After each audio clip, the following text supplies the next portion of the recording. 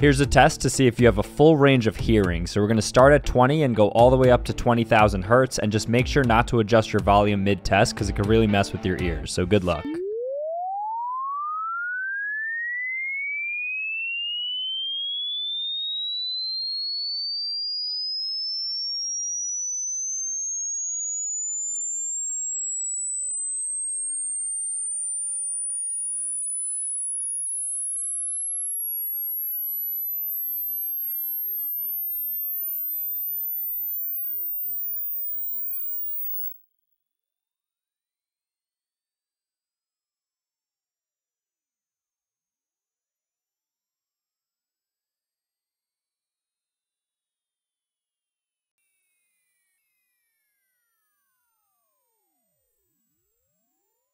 Okay, well, how'd you guys do?